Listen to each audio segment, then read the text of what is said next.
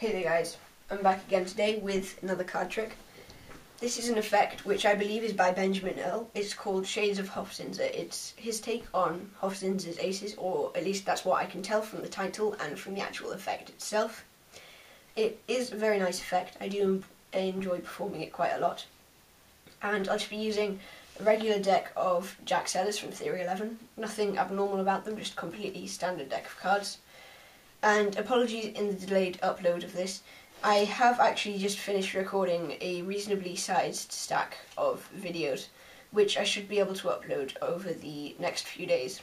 So um, I'm actually recording this one last, but I thought I'd upload it first, uh, just so you know that I have um, finished recording a few more videos. But I think that's probably enough talk for now, and that means we can get into the effect. So get the spectator to call out stop somewhere, let's say right here. This would be their selection. Now, I won't look at it, I'll just show it to the camera. Hopefully you guys can see that. I'll probably put an annotation on the screen. Uh, and so that's their selection. We'll place it on top and give the cards a few cuts to lose it into the centre, like so.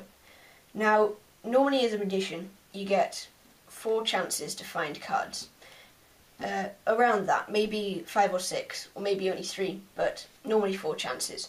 Otherwise, the spectator will just walk away. So we'll use four pals to represent these four chances, and we'll mix them up. Uh, and these get obviously smaller and smaller as you use up your chances. Maybe we'll shuffle them together for the last one, so you can see that we're down to the very last chance after all of our guesses at what your card is. Now, what we can do, just with a click of my fingers, is produce the four aces. Now, four aces are normally very helpful in effects because you can use them to determine the suit of a card, seeing as there's diamonds, hearts, clubs, and spades. So what we'll do is we'll take them out, just like this.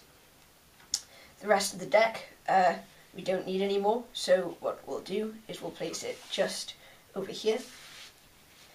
And that means we can get back to the four aces. Now, spades, clubs, hearts, and diamonds. What we can do with these is obviously determine the suit of the card, as I said.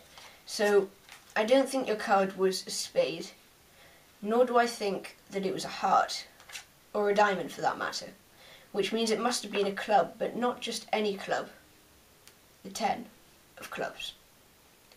So that is a very nice effect. Um, like I said, more videos coming soon. I hope you enjoyed that. Uh, and as always, don't forget to leave a rate or a comment. Or if you enjoyed it enough, maybe even subscribe. So once again, hope you guys enjoyed it.